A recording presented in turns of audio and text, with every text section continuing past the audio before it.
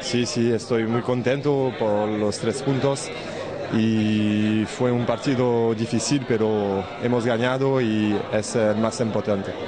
Además, muy contento por ser el primer gol que marcas en esta temporada con la camiseta del Sevilla. Se demuestra que si no marca un delantero, marca un defensa, ¿no? Sí, cuando podemos es muy bien para nosotros y, y si podemos ganar después, eh, todo bien.